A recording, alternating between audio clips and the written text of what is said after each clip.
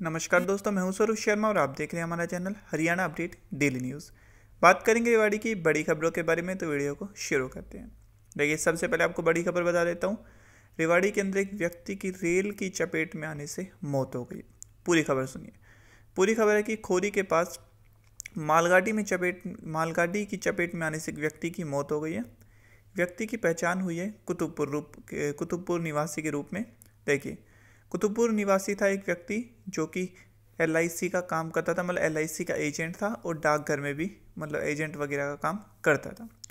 इसके बाद जब परिजनों को बताया गया तो परिजनों ने बताया कि एलआईसी का एजेंट था और डाकघर वगैरह में काम करता था। तो बताया ये जा रहा है कि मालगाड़ी की चपेट में आने से उस व्यक्ति की मौत हो गई है। क्या तो ये बताया जा रहा है कि वो पटरी पार कर रहा था और अचानक एकदम मालगाड़ी आ गई, इसके चलते उस व्यक्ति की मौत हो गई।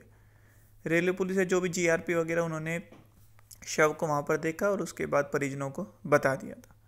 इसके बाद दूसरी बड़ी खबर आपको बता देता हूँ। देखिए, हमने आपको दो चार दिन पहले एक न्यूज़ बताई थी, जिसके अंदर एक लड़की की मतलब लाश मिली थी, जो कि एक तरीके से ब्लाइंड मर्डर था, जिसका पता नहीं चल रहा था।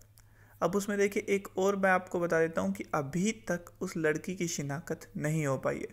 हालाँकि एक बात पता चला है कि उस लड़की को जो मारा गया है, वो मतलब उसका चेहरा ऐसा कर दिया है मतलब पत्थरों से कुचल दिया है कि लोग कोई उसको पहचान ना सके। हालाँकि अभी तक पुलिस ने कहा कि उसकी शिनाख्त नहीं हो पाई है।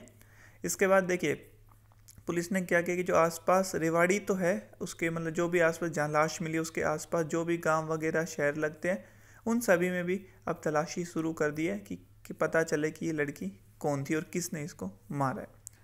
देखते हैं क्या कार्रवाई होती है लेकिन बड़ी खबर यही कि अभी तक उस लड़की की शिनाख्त नहीं हो पाई है।